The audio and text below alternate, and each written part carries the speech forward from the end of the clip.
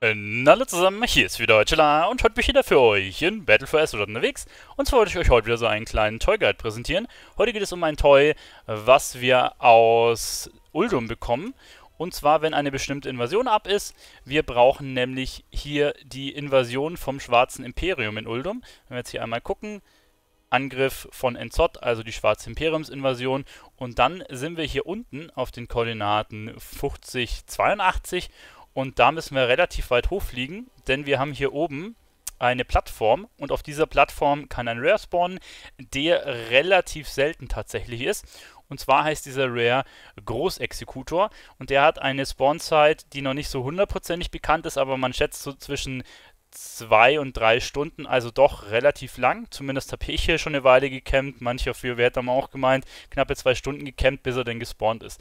Der kann ein Toy wiederum droppen und dieses Toy ähm, ist das hier Armschienen des Kraftprotzes und das hat etwa eine zweiprozentige Drop-Chance. Der Mob hat, wenn man ihn so angreift, um die 7 Millionen Live, also eine Gruppe bietet sich an. Ich habe ihn mit dem Main jetzt solo umgehauen. Wenn man ein bisschen dodgt, ist der relativ easy umhaubar, aber dauert halt ein bisschen, ne, weil er halt relativ viel Live hat. Also eine Gruppe macht tatsächlich Sinn.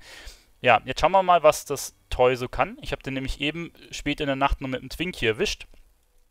Wenn wir das einmal lernen, dann ähm, können wir uns mal angucken, was es macht. Also ähm, Schienen des Kraftprotzes und wenn wir das nämlich einsetzen, äh, gibt mit euren Muskeln an und erhöht 30 Minuten lang die Armkraft und hat eine 45, 45 Minuten Abklingzeit. Setzen wir mal ein.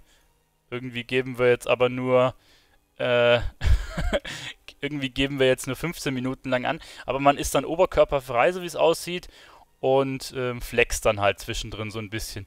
Ist ein ganz nettes Toy, äh, ja, hat jetzt aber keinen großen weiteren Effekt, aber natürlich wieder eins mehr in der Sammlung.